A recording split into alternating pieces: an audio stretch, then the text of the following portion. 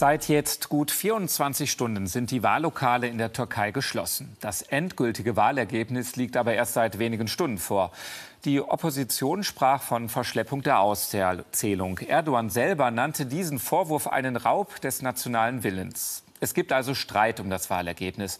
Eins ist jetzt aber sicher, es wird eine Stichwahl geben, denn keiner der Kandidaten hat im ersten Wahlgang die absolute Mehrheit gewonnen. Das Land ist gespalten und wer auch immer am Ende gewinnt, wird es schwer haben, einen kraftvollen Aufbruch zu gestalten. Doch genau der wäre mit Blick auf die wirtschaftliche Situation der Türkei bitter nötig. Nach der Wahl, welchen Weg geht die Türkei? Das ist mein Thema heute bei Unter den Linden. Herzlich willkommen dazu. Und das sind meine Gäste. Sevin Dadelen, Bundestagsabgeordnete der Linken und Sprecherin ihrer Fraktion für internationale Beziehungen. Und Linda Teuteberg, Bundestagsabgeordnete der FDP in Bayern hier im Studio. Ein herzliches Willkommen. Frau Dadelen, wie würden Sie die Wahlen am Sonntag beschreiben? Waren das nach Ihren Informationen faire und freie Wahlen, also Wahlen, die demokratischen Standards äh, genügt haben? Und zum größten Teil waren sie frei. Ähm, es gibt äh, noch nicht den Bericht der internationalen Wahlbeobachtung. Das muss man auch abwarten. Aber so wie ich das mitbekommen habe, waren sie frei zugänglich. Auch wenn es im Vorfeld Kritik gegeben hat und die Skepsis gegeben hat, dass gerade diejenigen Menschen, die aus den Erdbebengebieten kommen, keinen freien Zugang bekommen werden, um ihre Stimme abzugeben. Fair war die Wahl allerdings nicht. Man muss sagen, dass äh, schon der Wahlkampf nicht fair verlaufen ist. Ähm, besonders bei, in den kurdischen Gebieten gibt es eine große Repression. Und der Oppositionskandidat äh, Kılıçdaroğlu konnte kaum in den Medien punkten. Also in den staatlichen Medien haben, nur um eine Zahl zu nennen, äh, hat äh, der Präsident Erdogan über 48 Stunden Werbung für sich machen können, kam in den staatlichen Medien TDT vor.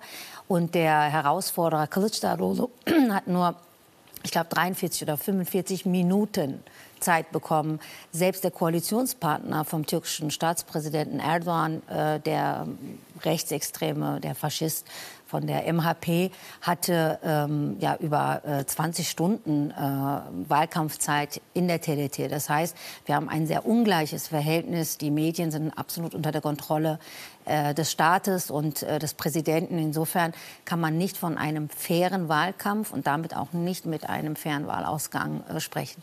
Sie unterscheiden also sozusagen zwischen der freien Wahl als solche, da gab es keine Repressionen, aber eben, dass es nicht fair gewesen ist, was den Wahlkampf als solchen angeht. Frau Teuteberg, es gab äh, und gibt äh, Man Manipulationsvorwürfe nichtsdestotrotz. trauen Sie denn dem bisher bekannten Ergebnis? Wir haben ja jetzt seit einigen Stunden ein amtliches Endergebnis Ergebnis. Da sind es mhm. tatsächlich knapp unter 50 Prozent für Erdogan. Also ich halte es da insofern wie Frau Dadelin, man muss das auch abwarten, ähm, gründlich, wie das Ergebnis äh, auch weiter ausfällt und auch wie mit Unregelmäßigkeitsvorwürfen umgegangen sind. Kollegen von mir sind ja gerade in der Türkei. Michael Link leitet die OSZE-Wahlbeobachtermission und sicherlich da, wo es, Beschwerden gibt, wo Unregelmäßigkeiten benannt werden, da müssen die auch untersucht werden.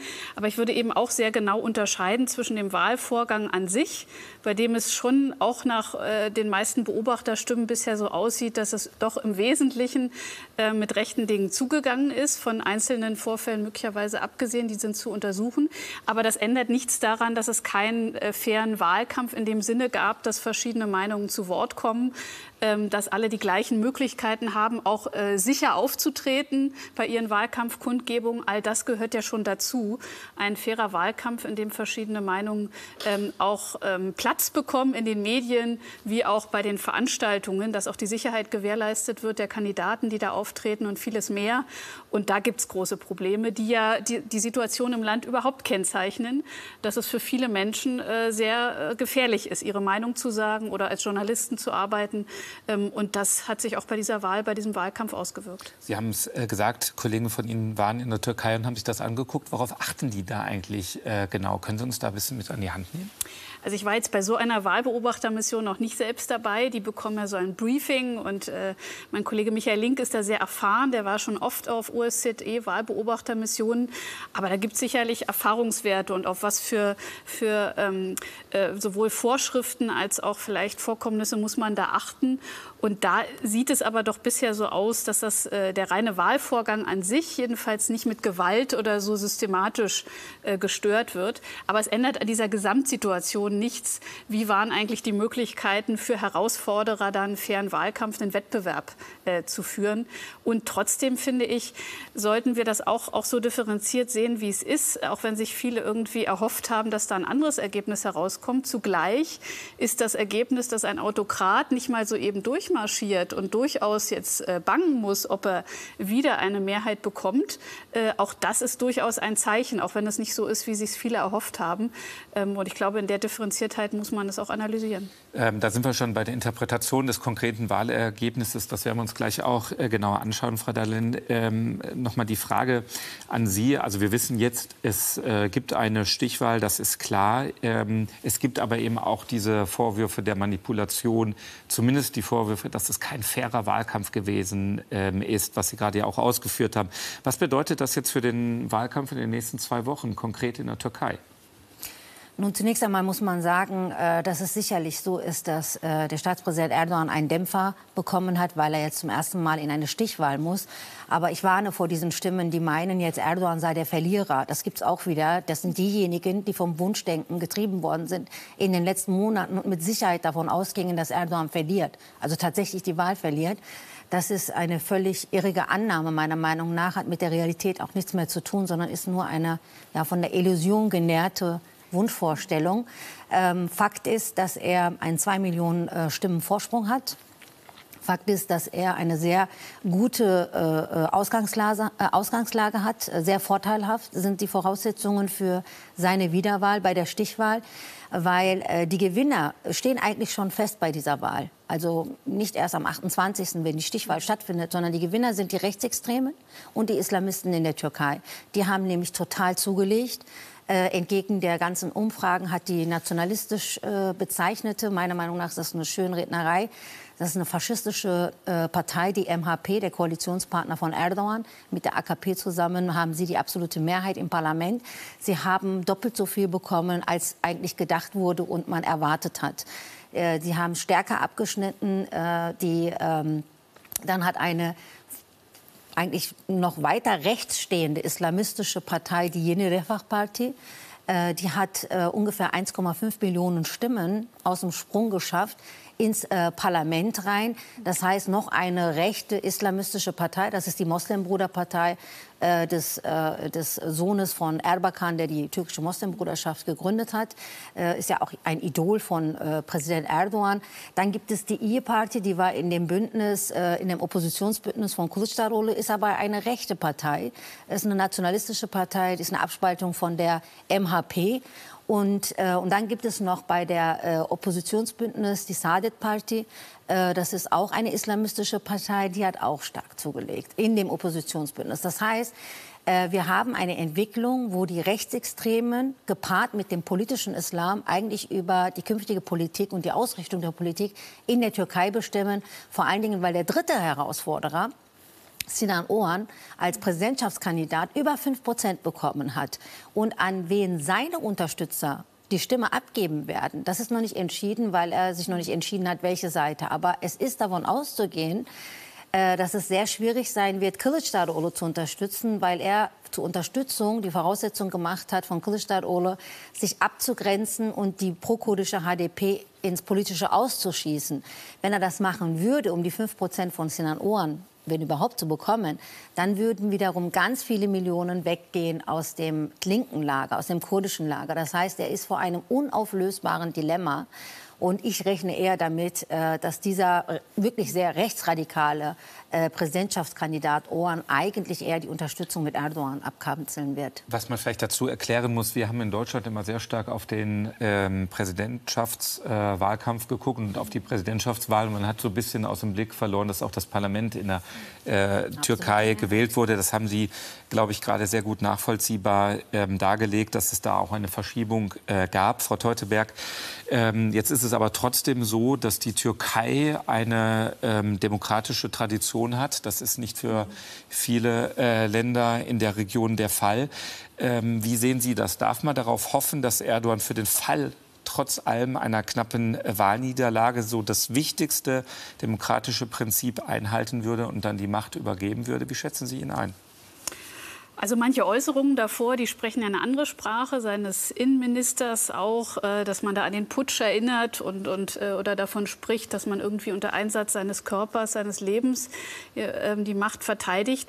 Aber andererseits hat man, finde ich, schon auch den Eindruck, dass er eben doch daran liegt, dass es, dass es so danach aussieht, dass man demokratische Spielregeln achtet, auch wenn er ja insgesamt allerdings ja den Staat ganz danach umgebaut hat, selbst die Macht zu konzentrieren, das Parlament weitgehend zu entmachten die Justiz äh, nicht mehr unabhängig äh, die Rechte der Bürger wahren lassen zu können. Also ähm, ich habe schon den Eindruck, dass er, dass er den, den, An, den Eindruck schon haben will, dass, dass das da mit rechten Dingen zugeht. Äh, aber es ist ja keine parlamentarische Demokratie mehr. Und das ist ja das zentrale Versprechen auch mit der, des Herausforderers, dass man äh, wieder, wieder die Institutionen stärkt, dass wieder der Regierungschef durch das Parlament gewählt werden soll, dass man wieder ähm, zur Verfassung zurückkehrt, diesmal vor dem Umbau durch Erdogan gab. Ähm, und ich glaube, auch da gilt so ein bisschen, so wie Frau Dadlen eben zu Recht darauf hingewiesen hat, dass manche Beobachter bei uns offenbar das zu optimistisch gesehen haben. Es sollte immer nicht der Wunschvater des Gedankens sein. Und ich glaube, so gilt es auch ein bisschen für die Frage, was würde uns erwarten, wenn jemand, äh, wenn äh, jetzt äh, der Herausforderer gewinnt. Äh, auch jemand, auch wenn es dort einen Wechsel gibt, steht eine mögliche neue Regierung vor ganz großen Herausforderungen. Und dann sollten wir sie auch nicht mit unseren Erwartungen und unseren Interessen überfrachten. Also die Probleme der Türkei sind so groß, einerseits mit der Inflation, den wirtschaftlichen Nöten und auch dieser Spaltung im Land, dass allein diese Wiederherstellung sozusagen der ähm, parlamentarischen Demokratie und von mehr Rechtsstaatlichkeit schon eine große Herausforderung wäre. Und viele andere Dinge, was wir uns so sicherheits- und migrationspolitisch uns interessiert, würde auch nicht unbedingt leichter werden. Was Sie ja berechtigterweise oder unberechtigterweise erwarten dürfen, das wollen wir besprechen. Frau Dalle, denn äh, Frau Teuteberg hat es angesprochen. Es gibt vieles, was man an Erdo, äh, Erdogans Regierungsstil kritisieren kann. Die Menschenrechts Rechtsverletzungen, Willkür, die Einschränkung der Pressefreiheit und das Präsidialsystem als solches. Ähm, das alles galt seinem persönlichen Machterhalt. Ähm, wie schätzen Sie das ein? Wird Erdogan oder auch die AKP als Partei diese Instrumente einfach so aufgeben oder wird man sich bis zum Schluss daran klammern? Wie weit ist es sozusagen mit dem demokratischen Verständnis äh, bei Erdogan und der Partei? Naja, das ist ja reine Spekulation, äh, wenn man jetzt darüber debattiert, was könnte in zwei, drei Wochen passieren. Ich möchte eigentlich eher weniger spekulieren, äh, sondern äh, mich an den Fakten orientieren. Und äh, die Fakten sind eher, dass die Voraussetzungen für seine Wiederwahl, wie gesagt, vorteilhaft sind, besser als die von Kılıçdaroğlu im Moment. Und ich davon ausgehen muss, äh, dass er seine Wiederwahl äh, erreichen wird. Und die Frage ist aber, was, was kommt dann? Äh, wie wird das Oppositionsbündnis äh, weiter bestehen? Äh, was ja große, ähm, als meiner Meinung nach auch ähm, viele strategische Fehler gemacht hat, äh, auch im Wahlkampf. Welche? Sie haben jetzt diese, äh, also vom, vom liberalen Ansatz her, von, von Rechtsstaatlichkeit und Demokratie, den Abbau erwähnt. Aber man muss ja auch eins zur Kenntnis nehmen. Erdogan hat ja auch äh, Wohlstand gebracht. Äh, und deshalb wird er auch von vielen Bürgerinnen und Bürgern gewählt und unterstützt. Und gerade auch vor dem, äh, im Wahlkampf selber, vor den Wahlen, hat er den Mindestlohn angehoben. Äh, die äh, Beamtenzuschüsse angehoben, das Rentenalter gesenkt äh, und 700.000, über 700.000 Beamten profitieren von diesen Reformen, die er da getan hat. Und ich finde, gerade da zum Beispiel hätte es die Stärke des Oppositionsbündnisses sein können, die soziale Frage in den Mittelpunkt zu stellen. Der Kandidat selber hat es hier und da versucht, Jamal Kılıçdaroğlu, aber das Oppositionsbündnis, und das ist ja auch eine Schwäche gewesen, es ist so heterogen. Diese Heterogenität war auch teilweise ein, äh, eine Schwäche, hat äh, auch Stimmen gekostet, weil äh, in diesem Oppositionsbündnis dann wiederum sehr stark neoliberale, rechte Parteien auch waren. Beispielsweise der designierte Finanzminister hat gesagt, dass bei einem Machtwechsel er das ganze, die ganzen Sozialprogramme und man muss wissen, Millionen von Menschen, ich glaube an die 20 Millionen in, in, in der Türkei kriegen Zuschüsse, würden alle auf den Prüfstand gestellt werden. Er würde eine viel härtere Wirtschaftspolitik machen und nicht mehr diesen Unsinn, also Zitat aus einem Interview mit der NZZ, diesen Unsinn unterstützen. Das ist nicht populär bei den vielen Menschen, die mit äh, hoher Inflation zu äh, leben haben, zu kämpfen haben und auch mit steigenden Lebensmittelkosten. Äh, das glaube ich, war ein äh, Fehler, was eben auch dieser Heterogenität vielleicht dieses Bündnisses geschuldet ist. Und äh, das darf man äh, einfach nicht außer Acht lassen. Also er wird auch unterstützt. Er wird aber auch unterstützt, weil er einfach eine Struktur hat, die mobilisieren kann. Auch in Deutschland. Es kommt nicht von ungefähr, dass er in Deutschland 64 Prozent bekommen hat und der äh, Herausforderer Kılıçdaroğlu 32 Prozent. Warum? Weil es hier ein großes Netzwerk für Erdogan gibt, nämlich aus den Moscheevereinen, die der äh, staatlichen Religionsbehörde unterliegen und damit seiner Kontrolle. Er hat die Hand drauf als Präsident. Das sind über 900 Moscheevereine. Dann kommen die ganzen faschistischen Strukturen der Grauen Wölfe hinzu. Das ist die Jugendorganisation quasi der MHP, seines Koalitionspartners. Und dann kommen noch diese ganzen Idealistenvereine wie Billy Görisch und so weiter. Und die mobilisieren alle in Deutschland aber auch im Ausland. Und Sie können sich vorstellen, in der Türkei haben Sie auch diese Strukturen und die mobilisieren ganz stark und diese Netzwerke arbeiten nicht nur von Wahl zu Wahl, sondern auch zwischen den Wahlen. Und dadurch kriegt er auch natürlich Stimmen. Frau Totteberg, die äh, Frau Dadelen hat da einfach auch eine ähm, sehr starken ähm, ähm, Sichtweise oder eine, eine sehr äh, intime Sichtweise ja auf das, was da in der Türkei passiert. Ähm, wir von außen ähm, haben ja ganz häufig so diese Türkei als eine Richtungswahl für oder gegen Demokratie ähm, stilisiert. Muss man jetzt feststellen, dass sich die Hälfte der Türkinnen und Türken für antidemokratische Tendenzen ähm, entschieden haben? Oder ist es das, was Frau Dadelin auch ausgeführt äh, hat, dass Sie sich für einen Kandidaten äh, entschieden haben, der auch einiges für Sie gemacht hat?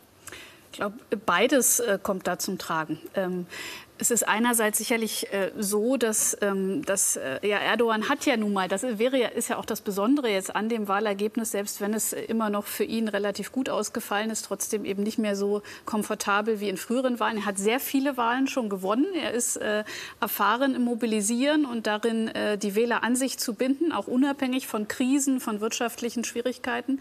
Einerseits, äh, tatsächlich ist es aber so, dass er in der Anfangszeit ja durchaus auch äh, reale Erfolge hatte, was die Wirtschaft Wirtschaftsentwicklung, was Infrastruktur, Gesundheitssystem angeht.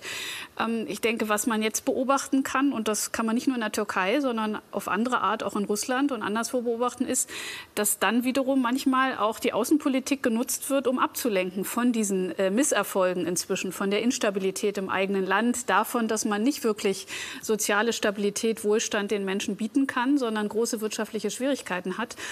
Und auch äh, viele der Zuschüsse, also auch, dass Erdogan die Wahl vorgezogen hat, womit er sich ja auch einen Vorteil verschafft hat. Deshalb äh, denke ich auch, er ist gar nicht angewiesen auf so direkte nachweisbare Verstöße, sondern er hat die Situation zu seinem Vorteil einfach gestaltet, massiv. Äh, ähm, da muss man aber auch ja sagen, dass diese Niedrigzinspolitik, die er verfolgt und auch die sozialen Wohltaten, die da jetzt verteilt werden, dass das alles auf Pump ist. Und natürlich die Inflation, die galoppierenden Preise, unter denen die Menschen leiden, auch Folge dieses, dieser Politik auf Pump sind. Insofern kann das ja auch keine Lösung sein, auch nicht für andere politische Kräfte. Ich glaube, zu betonen, diesen Wert der demokratischen Institutionen und auch Bürgerinnen und Bürger vor Willkür des Staates zu schützen, das ist schon richtig. Was wir, finde ich, daraus lernen können für den Systemwettbewerb auch zwischen Demokratien und Autokratien und Diktaturen ist, dass sozusagen das Funktionieren für die Menschen im Alltag eben auch wichtig ist. Neben dem ganz klaren Einhalten von, von Regeln, von Rechtsstaatlichkeit, Demokratie, die unheimlich wichtig sind. Aber auch die Frage, wie erreichen wir Wohlstand, wie ähm, zeigen wir, dass der Rechtsstaat funktioniert. Auch übrigens, dass wir Infrastruktur hinbekommen.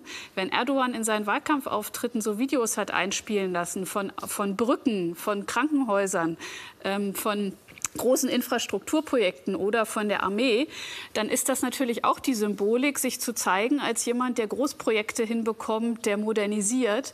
Ich glaube, da müssen wir aufpassen. Manches, wie heute Planungsbeschleunigung oder so, steht auch ein bisschen in dem Zusammenhang, dass Diktatoren und Autokraten versuchen zu erzählen, dass parlamentarische Demokratien zu langsam und zu wenig handlungsfähig seien. Und wir müssen beides zusammenkriegen. Die Achtung von, von demokratischen Regeln und Menschenrechten einerseits und gleichzeitig ein handlungsfähigen Staat, der auch noch große Dinge hinbekommt äh, und der durchsetzungsfähig ist. Das müssen wir verbinden. Sie haben es dargestellt, am Anfang äh, seiner Amtszeit hat Erdogan tatsächlich ähm, Erfolge ähm, verzeichnen können. Für viele ist er der Mann, der wirtschaftlichen Wohlstand und westliche Standards, zum Beispiel im Gesundheitssystem, ins Land geholt hat. Zum Schluss hat er aber sehr stark äh, das Nationale betont und ist international auch gegenüber Verbündeten immer selbstbewusster aufgetreten. Äh, das hat jetzt im ersten Wahlgang trotzdem gereicht, um eine Mehrheit äh, zu holen. Und Sie haben auch angesprochen, dass es möglicherweise ein globaler Trend ja ist. Äh, warum ist das so? Warum kann man mit dem Betonen des Nationalen ähm, Erfolge erzielen? Ob es wirklich nur das Nationale ist, da wäre ich mir nicht sicher. Aber diese, diese einfache Botschaft, dass man Dinge im Griff hat, dass das eigene Land irgendwie außenpolitisch von Bedeutung ist, dass man auch anderen diktieren kann, was, äh, was sie zu tun haben oder man jedenfalls Einfluss nehmen kann und auch, auch andere unter Druck setzen kann, das ist ja etwas, was wir auch bei anderen beobachten können.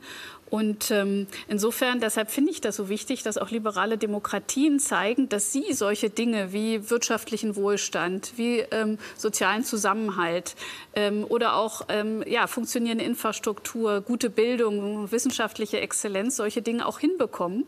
Und ich glaube, da müssen wir im Moment auch mit, mit den ganzen sicherheitspolitischen Herausforderungen wie dem ähm, russischen Angriffskrieg in der Ukraine aufpassen, dass wir auch beides verbinden, dass wir einerseits äh, uns klar positionieren, was die Solidarität mit der Ukraine angeht und die Zusammenarbeit in EU und NATO einerseits und dass wir auch zeigen im eigenen Land, dass der Rechtsstaat funktioniert, dass die Menschen sich auf eine Infrastruktur verlassen können, dass wir sie auch modernisieren können. Deshalb habe ich so ein Thema wie Planungsbeschleunigung angesprochen.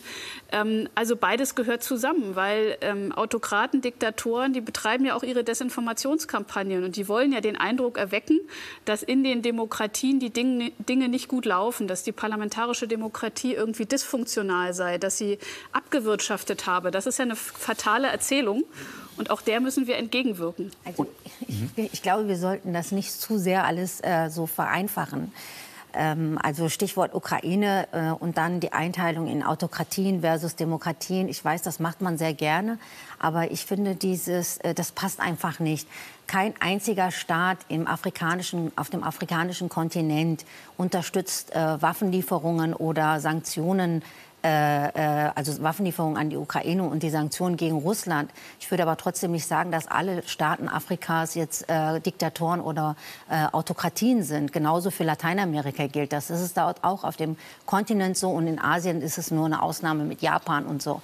Also selbst Südkorea äh, wendet die ja nicht an die Sanktionen. Also ich würde davor aufpassen.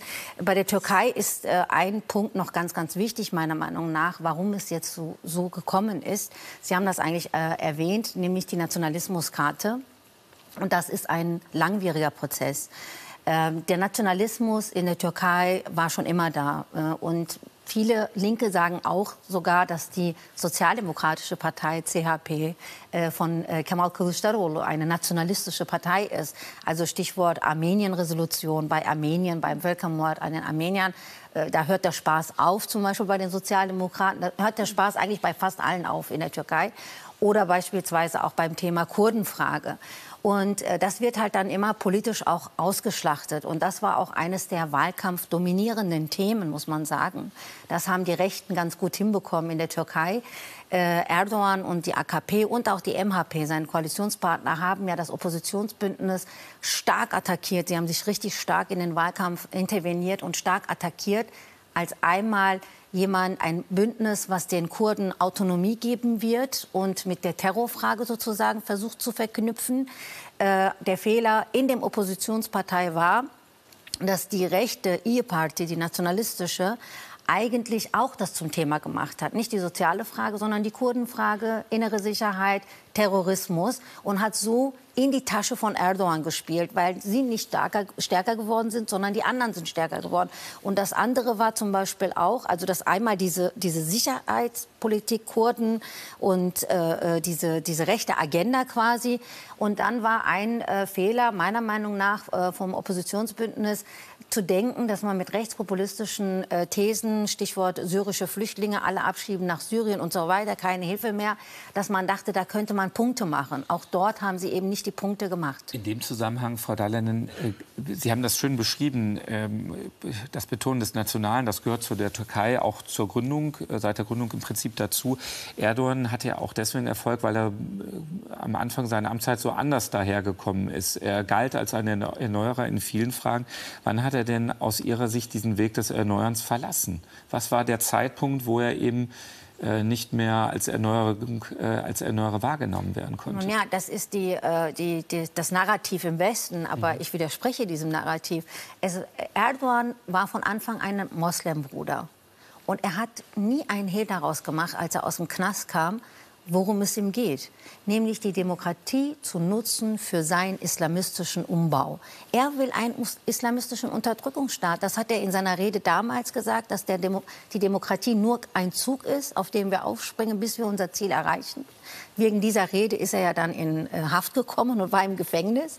Und später dann ist er ja dann äh, durch die Wahl sozusagen aus dem Gefängnis rausgekommen. Also das war eigentlich immer eine offene Agenda.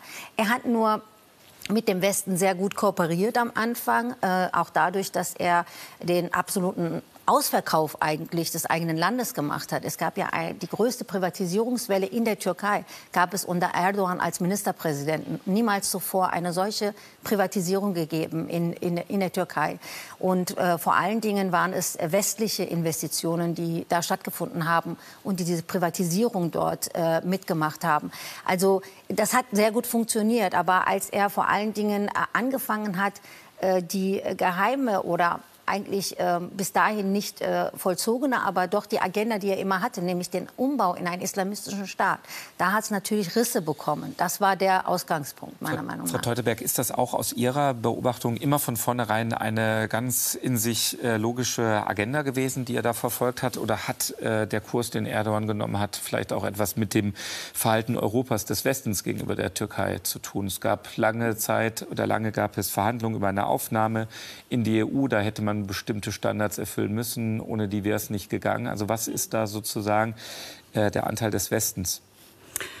Es ist immer, immer natürlich ähm, äh, leicht zu sagen, äh, was ist irgendwie, dass der Westen irgendwie auch schuld sei, weil niemand ist ohne Fehler, aber trotzdem sehe ich da nicht den Hauptanteil. Sicherlich äh, hätte man, müsste man sich früher ehrlich machen bei dem Thema Beitrittsstatus, ähm, dass ein Beitritt einfach nicht realistisch ist bei, den, bei der mangelnden Rechtsstaatlichkeit und vielen Kriterien, die die Türkei nicht erfüllt und auch nicht, nicht zeigt, dass sie die erfüllen will. Aber tatsächlich sind die Dinge oft komplizierter und ähm, äh, wegen der auch äh, religiösen Agenda. Ähm, wir sollten nicht naiv sein. Auch für die deutsche Innenpolitik muss man daraus ja immer Schlussfolgerungen ziehen. Das ist eigentlich nicht so neu, aber wird immer wieder leider nicht genug beachtet, dass wir solche aus dem Ausland finanzierten ähm, Vereine und Institutionen äh, wie DITIB, Milli Görrisch und so auch äh, nicht auch Partner für Integration sind. Dass wir auch sehr genau aufpassen müssen, wer gestaltet Religionsunterricht, äh, was wird hier auch gepredigt äh, ähm, und eigentlich darauf dringen müssen, dass sie sich natürlich die Menschen, die ihre Religion ausüben, auch selbst finanzieren, ihre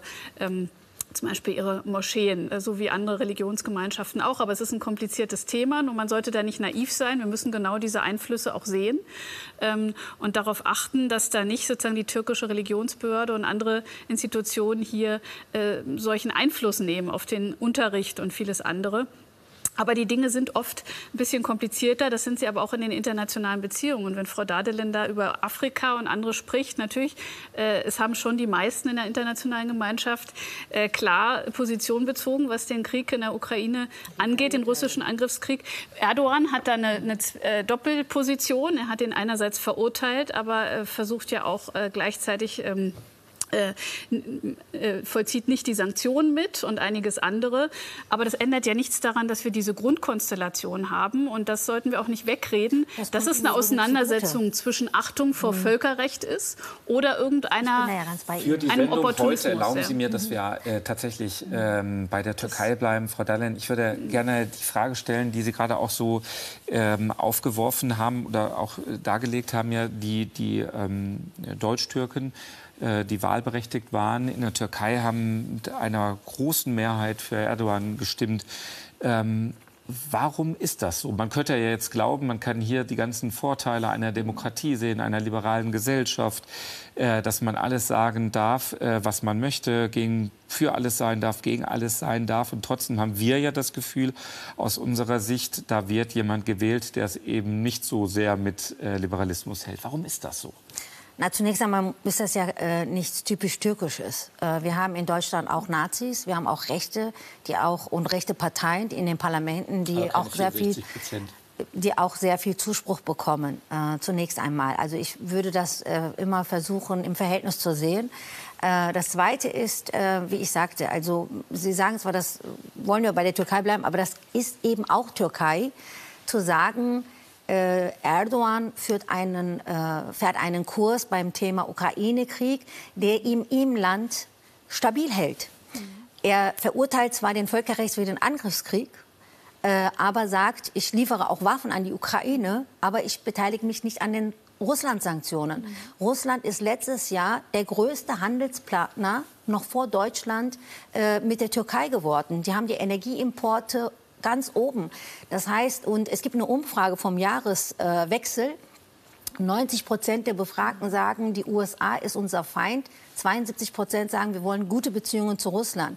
Und Experten gehen davon aus, dass bei der schwierigen wirtschaftlichen Lage, die die Türkei sowieso hat, wenn sie die Sanktionen auch noch gemacht hätten gegen Russland, wäre das der wirtschaftliche Ruin der Türkei.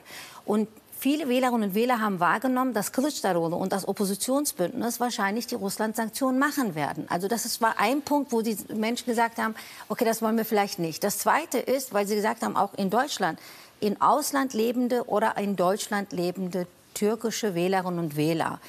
Sie wählen vor allen Dingen diese Parteien, weil sie mit einem Netzwerk hier verbunden sind. Ich sagte es Ihnen, die, die arbeiten nicht von Wahl zu Wahl. Und äh, auch wenn das sehr kompliziert ist, äh, frage ich mich natürlich, wo ist die Bundesregierung? Nicht nur die alten, sondern auch die jetzige. Wir haben einen Bundestagsbeschluss von Ende 2020, dass die faschistischen grauen Wölfe in Deutschland verboten werden sollen. Das war ein fast einstimmiger Beschluss des Bundestages. Und ich frage mich, warum macht das die Bundesregierung nicht, wenn sie genau weiß, das ist die größte rechtsextremistische Organisation in der Bundesrepublik Deutschland, die Andersdenkende und Oppositionelle gefährdet, sie bedroht und hier als Schergen des türkischen Präsidenten äh, arbeitet. Und diese Moscheevereinigungen sind es, in denen die Menschen, die fromme, Gläubige sind, die gehen dorthin zum Beten, zum Gottesdienst und bekommen dort einen Wahlkampf. Und wenn man das nicht unterbindet, wird das auch in Zukunft Jetzt so gehört weiterlaufen. Frau Teuteberg zwar einer Regierungspartei an, ist aber nicht Teil der Regierung. Deswegen würde ich Sie fragen, wollen Sie darauf eingehen? Wahrscheinlich gibt es da gar keinen Dissens zwischen Ihnen beiden. Nö, das ist, äh, das, dass wir auch gegen die äh, grauen Wölfe vorgehen müssen. Da, darüber gibt es keinen Dissens. Aber die konkrete Frage, wann man ein Vereinsverbot äh, verhängen kann und wie das läuft, das ist dann doch Sache der Innenministerin. Aber mir ist ganz wichtig tatsächlich, dass wir da nicht naiv sind und dass wir gegen extremistische Tendenzen vorgehen. Und zwar egal, welcher Herkunft diejenigen sind, die sie betreiben. Äh, äh, für die innere Sicherheit in Deutschland darf das keinen Unterschied machen. Äh, auch Rechtsextremismus mit anderer Herkunft muss bekämpft werden. Ich würde auf einen Punkt gerne eingehen. Frau Dallin hat es erwähnt. Das sind die äh, Wirtschaftsbeziehungen zwischen der Türkei und äh, zwischen äh, Russland. Könnte sich ein ähm, neuer Präsident ähm, Kılıçdaroğlu das eigentlich erlauben, da eine andere Politik zu fahren als Erdogan das gerade macht? Also könnte er sagen, ich äh, mache mich da frei von den russischen Wirtschaftsbeziehungen, weil das war ja eindrücklich erklärt. Das würde für die Türkei und für die Wirtschaft in der Türkei noch stärkere verheerende Auswirkungen haben. Das wäre sicherlich äh, auch sehr schwierig, auch für eine andere Regierung.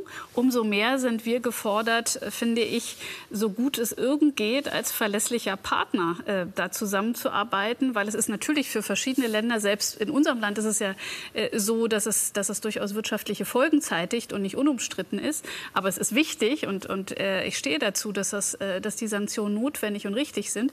Aber gerade weil wir wissen, dass es auch für viele andere Länder noch viel schwerer zu tragen ist, wirtschaftlich zum Beispiel, Beispiel solche Sanktionen zu vollziehen. Das ist ja mit auch ein Grund äh, bei einigen Ländern in ähm, Lateinamerika oder Afrika, weshalb sie sich so positionieren. Nicht der einzige vielleicht, aber einer. Ähm, äh, umso mehr müssen wir auch verlässliche Angebote machen, wie man mit uns zusammenarbeiten kann, wirtschaftlich ebenso wie sicherheitspolitisch und äh, zivilgesellschaftlich, im wissenschaftlichen Bereich und viele mehr. Ähm, das ist nicht einfach, aber äh, auch da müssen wir, müssen wir ähm, Zusammenarbeit suchen. Äh, manche Dinge, es gibt ja so Zollabkommen und anderes, alles, was wir tun können, auch was es unterhalb der EU-Mitgliedschaft gibt, ähm, wenn sich auch die Türkei da als, als zuverlässig erweist, äh, zu suchen. Und daneben, das ist ja in der, in der Strategie gegenüber Autokratien und so wichtig ist eben, dass wir generell mehr Freihandel, mehr Zusammenarbeit mit allen, die auch demokratisch, rechtsstaatlich organisiert sind und diese Werte teilen, äh, betreiben sollten in der Welt. Und äh, die, die Wirtschaftsbeziehungen sind das eine. Das andere, wo man ja auch nicht unbedingt erwarten könnte, dass eine andere Regierung äh, plötzlich so agiert, wie wir das vielleicht oder manche bei uns sich das wünschen, ist das Thema Migration und Flüchtlinge. Ich finde erstmal die Tatsache, dass die Türkei sehr viele Menschen aufgenommen hat, die muss man auch mal anerkennen und übrigens viele auch unter vernünftigen Bedingungen, unter vernünftigeren als in Griechenland zum Teil. Ähm, aber gleichzeitig gehört dazu, dass die Türkei auch ein, durchaus ein Interesse hat, nicht dauerhaft Transitland in beliebigem Ausmaß zu sein. Und wir können, so richtig übrigens zum damaligen Zeitpunkt durchaus das Abkommen in der Flüchtlingsfrage war, das kann nicht unsere einzige Antwort auf dieses Thema sein. Und wir müssen selbst Konzepte haben, wie wir Migration steuern und ordnen in Deutschland und in Europa. Das kann nicht Aufgabe nur unserer Beziehung zu Erdogan sein. Wir würden uns da viel zu erpressbar und abhängig machen. Äh, wir brauchen eigene Antworten und dazu gehört zum Beispiel ein wirksamer Außengrenzschutz. Frau Dallen, Sie hatten das gerade angesprochen. Es ist äh, vielleicht so eine Schwäche des Westens, dass man äh, ins Ausland immer ähm, so blickt, wie man es ganz gerne hätte. Ähm, vielleicht gilt das ja auch für äh, Kılıçdaroğlu, der äh, als großer Hoffnungsträger im Westen gilt. Wir haben gerade das Thema äh, angesprochen, äh, Aufnahme von Flüchtlingen in Syrien. Da hat gerade äh, der Oppositionsführer Kılıçdaroğlu aber angekündigt, dass er das auch noch mal auf den Prüfstand setzen will, das Flüchtlingsabkommen mit der EU. Also was erwarten Sie da von ihm? Kann er die Türkei, könnte er die Türkei näher an den Westen heranführen oder gibt es da neue Probleme? Also zunächst einmal, äh, es hat ihm ja nicht geholfen gerade, ne? äh, auch dass der Westen ihm so wohlgesonnen war, weil äh, Erdogan und die Rechten haben das genau gegen ihn benutzt. Er haben ihn diffamiert, äh, sie haben ihn diffamiert als 100 Prozent äh, Joe Biden-Mann, also der Mann des US-Präsidenten Joe Biden. Äh, damit haben sie ihn versucht zu verunglüpfen und das hat ein bisschen auch verfangen bei vielen Wählerinnen und Wählern, weil sie dachten, ah ja, das ist der Kandidat des Westens. Gerade auch westliche Medien haben ihn ja auch schon quasi als gewählten Präsidenten gefeiert, was ihm eigentlich eher geschadet hat, muss man sagen. Und der Hintergrund ist folgendes, weil es ja auch in Deutschland äh, wohlfeile Wahlaufrufe gab für Kılıçdaroğlu die auch in die Tasche von Erdogan wieder gespielt haben, also gerade die Grüne Partei beispielsweise. Das sind sehr wohlfeile äh, Aufrufe, die aber nichts bringen, sondern eher schaden, äh, weil wenn man die Geschichte der Republik Türkei bedenkt, ist es so, dass der Unabhängigkeitskampf eigentlich ja gegen die Besatzungsmächte geführt worden ist und auch man es auch nicht gerade mag, also eigentlich allergisch reagiert auf Rufe aus Europa, weil nach Ende des Osmanischen Reiches die Europäer es ja waren, die das Reich aufgeteilt haben. Da man, ist man wirklich sehr allergisch bis nach Anatolien und das ist ja die Hochburg von Erdogan. Die Küstenstädte ist klar, dass die äh, in, der, äh, in der Hand der äh, Sozialdemokraten sind. Aber wenn man eben nicht in diese Hochburgen einbrechen kann, kann man keine Wahl gewinnen. Und äh, da ziehen diese Argumente, diese diffamierenden Argumente. Und insofern sage ich, äh, wie gesagt, äh, es wäre zu hoffen gewesen natürlich, dass mit ihm jemand gewinnt, der mehr Rechtsstaatlichkeit, Demokratie, auch ein bisschen mehr Freiraum wieder schafft, auch für die jungen Menschen in, in der Türkei, die ja viele auswandern, ja, weil sie keine Perspektive sehen für sich. Äh, aber die, die Karten sind halt ein bisschen anders gelegt und das hat aber auch mit Deutschland zu tun und mit dem Westen zu tun, weil man die Türkei ja eben bei wohlfeiler Kritik moralisch zwar verurteilt hat, aber faktisch tatsächlich immer unterstützt hat. Man hat die Türkei sowohl mit Waffenexporten unterstützt bis heute, liefert die Bundesregierung Waffen an die Türkei von Erdogan. Man hat ihn unterstützt mit wirtschaftlicher Hilfe. Die Vorbeitrittshilfen laufen ja immer noch. Auch aus Deutschland die Unterstützung äh, findet immer noch statt. Und man hat ihn auch gewähren lassen mit seinen völkerrechtswidrigen Angriffen in seinen Nachbarländern Syrien und Irak. Es gab bis heute nicht eine Verurteilung dessen. Die Bundesregierung sagt auch nach Jahren beispielsweise beim Angriff auf das kurdische Afrin, dass ihr, ihnen immer noch die Hinweise fehlen, um eine abschließende Bewertung zu machen, ob das völkerrechtswidrig ist oder nicht, obwohl der wissenschaftliche Dienst oder der Bundestag das sagen. Ich will nur sagen, man hat ihn lange Zeit unterstützt und macht es auch. Und ich finde, wenn diese Wahl jetzt nicht eine Zäsur ist, um auch neu auszurichten, die Türkei-Politik, dann weiß ich auch nicht mehr, worauf man eigentlich hier wartet. Ja, Frau Dallin, ich würde die, die Frage oder gerne einen Aspekt aufnehmen, den Sie gerade dargelegt äh, haben. Und Sie fragen, Frau Teuteberg, wenn es so ist, dass jemand in der Türkei in einem Wahlkampf sozusagen dafür, für die NATO wirbt, und genau dafür abgestraft wird und das äh, sozusagen ihm eher schadet, muss man dann nicht generell über einen Partner, über den NATO-Partner Türkei nachdenken? Ähm, Sie meinen den Rückhalt der, der NATO in der Bevölkerung. Das ist ja. sicherlich äh, kein einfaches äh, Thema, aber ähm, äh, die Türkei ist gleichwohl wichtig. Ich glaube, das machen sich alle nicht leicht, auch frühere Bundesregierungen nicht, äh, dass sie äh, bei aller Kompliziertheit der Beziehungen sehr wichtiger Partner ist. Das ist schwer genug. Und wenn wir mal ehrlich sind, gibt es ja leider, zum Glück nicht die Mehrheit, aber in Deutschland, die Linke zum Beispiel fordert ja auch ständig NATO-Austritt und unterstützt nicht das Engagement Deutschlands in der NATO. Und insofern, ich freue mich, dass Schweden und Finnland beide erkannt haben, dass Neutralität eben keine Option ist, gerade weil sie erkannt erkannt haben, wie bedroht sie selbst auch sind in, äh, durch Russland und in dieser neuen ähm, Situation, auch in dem ähm, sozusagen der Systemauseinandersetzung zwischen Demokratien und auch aggressiven Autokratien. Und ähm, dass Erdogan das für Schweden blockiert hat, ist natürlich ähm, sehr bedauerlich. Gleichzeitig ist aber der, der Beitritt äh, Finnlands auch schon großer Sicherheitsgewinn für die NATO und nützt auch Schweden. Wir werden damit umgehen können.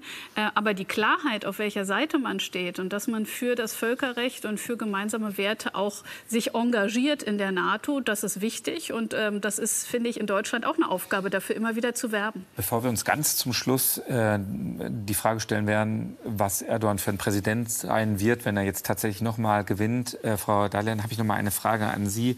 Bitte Sie da um Ihre Einschätzung. Äh, Kemal Kılıçdaroğlu äh, ist Alevit und hat sich in einem sehr viel ähm, beachteten Video dazu auch bekannt. Das ist viral gegangen, das ist sehr gelobt worden.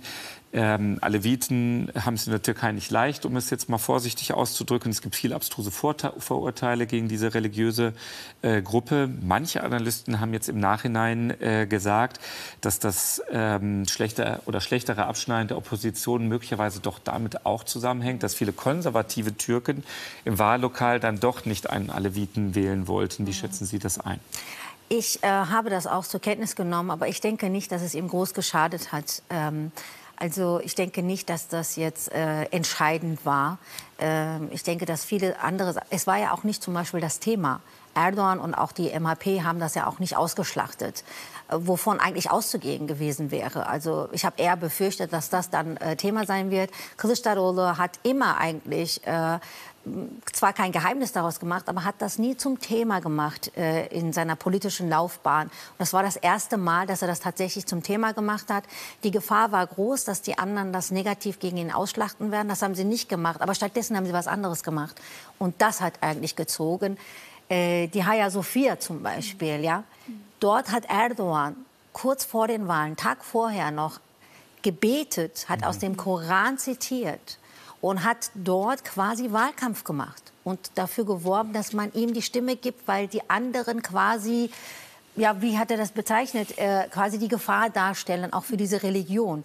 Und das hat er gewirkt. Also dieser Kit zwischen Rechtsextremen und, und politischen Islam, also mhm. den Islam als ein politisches Kampfmittel zu benutzen, das hat er sehr, sehr stark gemacht, stärker als je zuvor. Meine und Schluss das war ein Punkt für ihn. Meine quasi. Schlussfrage an Sie beide. Ähm, es sieht alles danach aus, auch wenn die Messe nicht gelesen ist, solange äh, sie nicht zu Ende ist, dass Erdogan doch noch mal äh, gewinnen wird. Wird er eher ein noch autoritärer Präsident sein oder ähm, wird er sich auf die EU und auf den Westen zu bewegen müssen? Frau Teuteberg, kurze Einschätzung. Ich glaube, das wird kein Entweder-Oder sein. Äh, er hat das ja so ausgebaut, dass die Macht bei ihm liegt. Äh, vielleicht nutzt er das sogar, um erst mal sozusagen sich vermeintlich großzügig und kooperativ zu zeigen. Aber äh, das ändert nichts daran, dass er da auf sich das zugeschnitten hat und die Macht auch ausübt, so wie er das für richtig hält. Insofern denke ich, sollte man sich da keine falschen Hoffnungen machen. Wir sind aufgefordert, unsere eigenen Hausaufgaben zu machen, selber handlungsfähig zu sein. Umso weniger sind wir erpressbar durch äh, Menschen wie Erdogan. Ich denke, das würden Sie unterstreichen. Ja, ich meine zum größten Teil, aber ich denke, dass es so oder so eigentlich die Rechtsextremen sein werden, wie in Israel, die jetzt die künftige Politik da mitbestimmen. Und da ist die große Gefahr, glaube ich, äh, die nicht bei uns so viel gesehen wird, was für eine Rolle diese Rechtsextremen dort spielen und natürlich der politische Islam. Frau Dadelind, Frau Teuteberg, vielen Dank für Ihr Kommen, für die Analyse äh, dieser Wahl und Ihnen zu Hause herzlichen Dank für Ihr Interesse an dieser Sendung. Bei Phoenix folgt jetzt das Aktuellste zum Tag. Bleiben Sie bei uns und bleiben Sie gesund. Tschüss.